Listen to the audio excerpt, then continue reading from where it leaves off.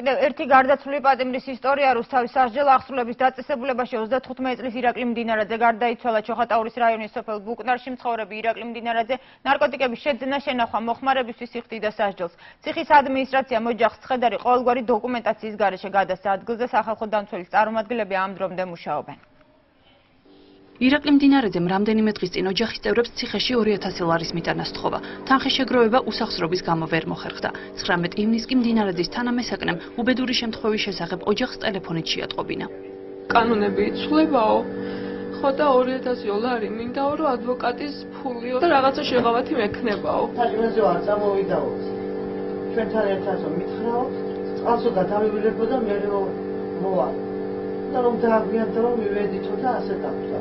რუსთავის კოლონიაში გარდაცვლილი პატიმრის ცხედარი ადმინისტრაციამ ოჯახს გლდანის საპყრობილეში ყოველგვარი დოკუმენტაციისა და ახსნა განმარტების გარეშე გადასცა. მოვითხოვეთ რომ ვინმე გამოვიდეს და გამოვიდა ერთი, არ ვიცი ვინ იყო. ვიცი პოლკოვნიკი იყო წოდებით. გამოვიდა და ვკითხე რა რატომ მოგდა კაცი მე. არ ვიცი. ვინ იცის ვის შეიძლება ვკითხო მე. ეგეც არ ვიცი. შებრუნდა და წავიდა. სასჯელ აღსრულების სამინისტროს ვებგვერდზე გარდაცვლილ პატიმართან დაკავშირებით ვკითხულობთ. მიმდინარე წლის 19 ივნისს ქალაქ რუსთავის ნომერ 16 ნახევრად ღია და დახურული ტიპის თავისუფლების აღკვეთის დაწესებულებაში მსჯავრდებულმა ირაკლი მდინარაძემ წინასწარ ინფორმაციით ჩაედინა სუიციდი პირადი ოჯახური გარემოებების გამო. თვითმკვლელობის ვერსიას მდინარაძის ნათესავები კატეგორიულად გამორიცხავენ. ისინი ფიქრობენ, რომ პატიმარს ფული სულ სხვა მიზნით სჭირდებოდა და სახელმწიფო მისი უსაფრთხოება სათანადოდ ვერ უზრუნველყო. ეს არის ხო ის კაცი, რომელიც ასეთ უილობალო და რაღაცა გულის აჩუქებაზე თავ ჩამოიწოდა. არა.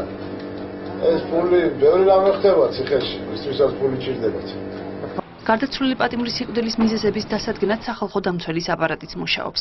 სახალხო დამცველის სტუნებულები იმყოფებიან რუსთავის დაწესებულებაში, სადაც გარდაიცვალა მშავდებული ირაკლი მდინარაძე, გაესაუბრებიან მის თანასაკნელებს, ასევე ადმინისტრაციას. პატიმართა სიკვდილიანობით საქართველოს მსოფლიოში მოწინავე პოზიციებს ინარჩუნებს.